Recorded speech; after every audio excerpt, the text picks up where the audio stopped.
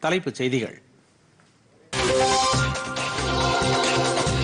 PM CARES நிதியத்தின் கீழ் அமைக்கப்பட்ட முப்பத்தி ஐந்து பிஎஸ்ஏ ஆக்சிஜன் உற்பத்தி நிலையங்கள் இன்று நாட்டிற்கு அர்ப்பணிக்கிறார் பிரதமர் நரேந்திர மோடி.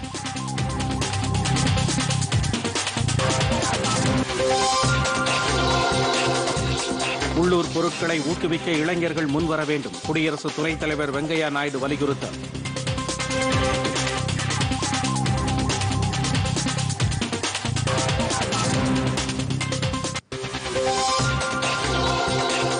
ஏழு ஒருங்கிணைந்த ஜவுளி பூங்காக்களை அமைக்க மத்திய அமைச்சரவை ஒப்புதல்.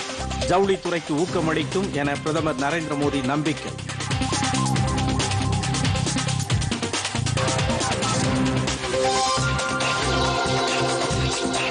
முதல் கட்ட ஊரக உள்ளாட்சித் தேர்தலில் எழுபத்து நான்கு புள்ளி மூன்று ஏழு சதவீத வாக்குகள் பதிவு. இரண்டாம் கட்ட தேர்தலுக்கான பிரச்சாரம் இன்று மாலையுடன் நிறைவு.